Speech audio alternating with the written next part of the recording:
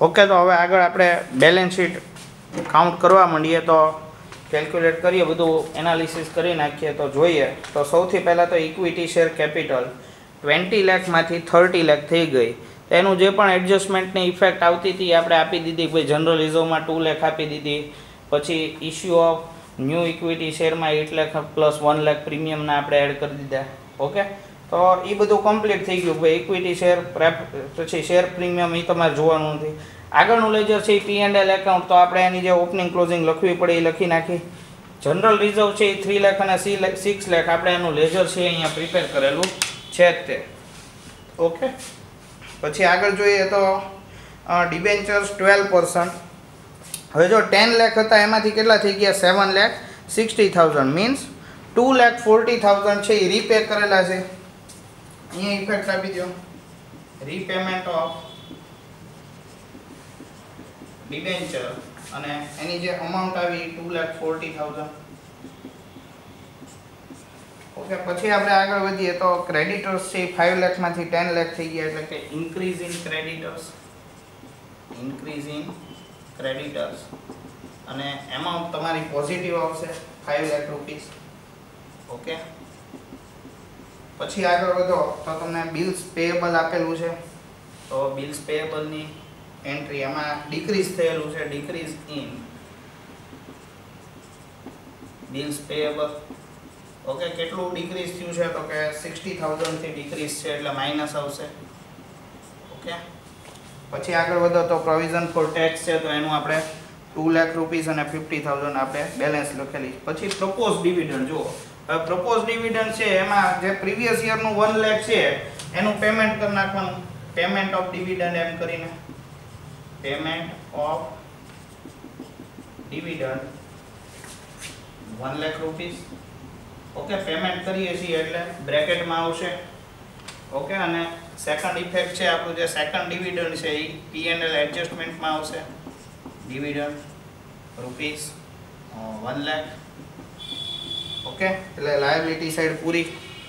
Asset side આવી જાવ તો બિલ્ડિંગ છે એ ફિફ્ટીન લાખમાંથી ટ્વેન્ટી થ્રી લાખ થઈ ગયું છે. એટલે તમે એઇટ લાખ રૂપીસના બિલ્ડિંગ છે એ પરચેસ કરેલું છે. આમાં કોઈ જાતનું તમને ડેપ્રિસિએશન છે નહીં, એટલે આપણે કોઈ પરચેઝ ઓફ બિલ્ડિંગ સીધી જ તમારે ઇફેક્ટ છે એ આપી દેવાની. કેટલા રૂપીસ આપેલા છે? એઇટ લાખ રૂપીસ તમને આપેલા છે. પેમેન્ટ કરીએ એટલે માઇનસ ઇફેક્ટ આવે. મશીનરીનું લેજર બનાવેલું છે. ઇન્વેસ્ટમેન્ટ એઝ ઇટ ઇઝ છે એમાં કોઈ ઇન્ક્રીઝ ડિક્રીઝ નથી. સ્ટોક જો ઇન્ક્રીઝ ઇન સ્ટોક હવે ઇન્ક્રીઝિંગ સ્ટોકમાં તમે જુઓ તો કેટલા રૂપીસનું ઇન્ક્રીઝ છે? ફોર્ટી થાઉઝન્ડ રૂપીસનું ઇન્ક્રીઝ છે. સ્ટોક ઇન્ક્રીઝ થાય એટલે એની જે ઇફેક્ટ છે એ નેગેટિવ આવશે. પછી આપણે ડેટર્સ જોઈએ તો ડેટર્સમાં પણ ઇન્ક્રીઝ જ છે. ઇન્ક્રીઝ ઇન ડેટર્સ તો એ જે ડેટર્સ છે, એમાં પણ થર્ટી થાઉઝન્ડનો ઇન્ક્રીઝ આવશે. હવે બેંક બેલેન્સ છે એ આપણે અહીંયા લખવાની રહી ગઈ હતી, પછી ફરી બનાવ્યું ત્યારે. લખી નાખીએ ટુ લેખ ફિફ્ટી થાઉઝન્ડ અને four lakh eighty thousand closing balance okay એટલે લગભગ દરેક વસ્તુ આપણી પૂરી થઈ ગઈ એડજસ્ટમેન્ટ્સ છે એ પણ પૂરા. બેલેન્સ શીટ એનાલિસિસ પણ પૂરું. હવે જે પણ આપણા લેજર્સ છે એ આપણે ક્લોઝ કરી દઈએ. તો અહીંયા એટ લાખ રૂપીસ આવે. હવે એટ લાખમાંથી થ્રી લાખ રૂપીસ એની ઓપનિંગ માઇનસ કરો તો ફાઇવ લાખ રૂપીસની બેલેન્સ આવે તો અહીંયા તમારે ક્યાંથી લાવવા પડે? પી એન્ડ એલ એડજસ્ટમેન્ટ એટલે કે પ્રોવિઝન ફોર જનરલ રિઝર્વ થયું. અહીંયા લખી નાખવું પડે ટુ જી આર એટલે કે general reserve five lakh rupees okay પછી આપણે આગળ વધીએ. તો અહીંયા આગળ મશીનરીમાં fifty thousand plus twenty plus one lakh eighty thousand twenty two lakh fifty thousand એટલે ટ્વેન્ટી ફાઇવ લાખ રૂપીસનો ટોટલ થાય છે. આમાં પણ ન્યૂ મશીનરી પરચેસ થતી હશે એ રીતે તમારે ઇફેક્ટ આપવી પડે.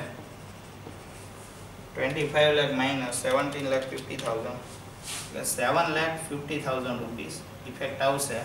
તમારે અહીંયા લખી નાખવાનું purchase of machinery seven lakh fifty thousand okay પછી ચેક કરો. તો અહીંયા આગળ ટુ લેખ થર્ટી થાઉઝન્ડ આવશે. By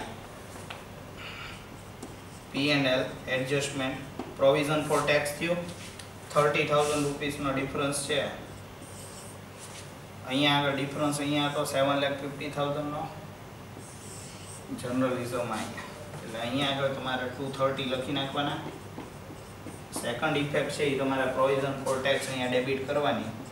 two provision for tax અને અમાઉન્ટ થશે એ થશે થર્ટી થાઉઝન્ડ રૂપીસ હવે ટોટલ કરી નાખીએ ટ્વેન્ટી થાઉઝન્ડ એટલે એટી થાઉઝન્ડ પછી one lakh five lakh thirty thousand two lakh fifty thousand total check કરવા જાઓ તો ten lakh eighty thousand P&L એડજસ્ટમેન્ટનો આવે છે ટોટલ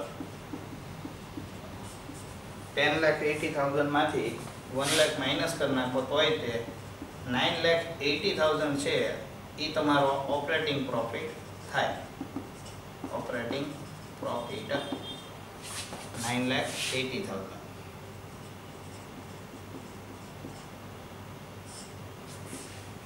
okay એટલે હવે ટોટલ કરવો પડે આપણે અહીંયા. કેશ ફ્લો સ્ટેટમેન્ટમાં ટોટલ બી અને ટોટલ સી ઓકે બધાનો ટોટલ એક એક એક આપણે જોતા જઈએ.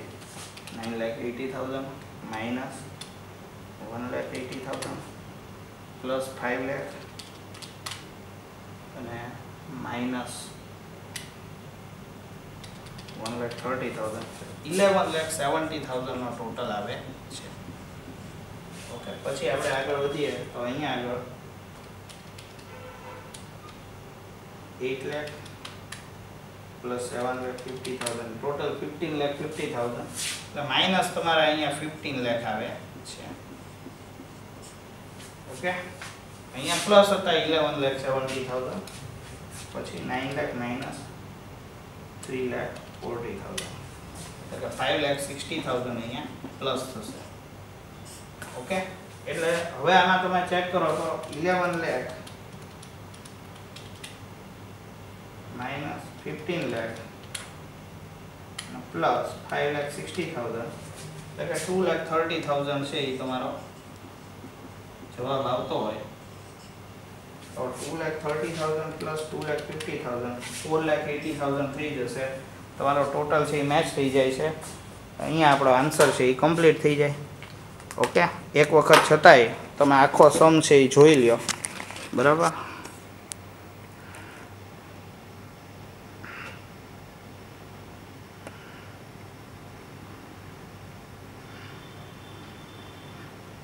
ચાલો આજે આટલું રાખીએ છીએ.